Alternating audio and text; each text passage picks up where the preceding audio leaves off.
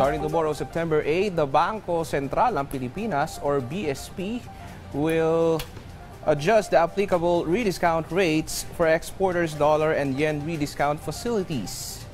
Peso rediscount rates are also based on BSP overnight lending rate, while the dollar and yen rediscount rates are based on benchmark rates. The BSP adjusts rediscount rates to complement with the changes it made to its monetary policy goals and is also reflective of the movements in the market interest rates.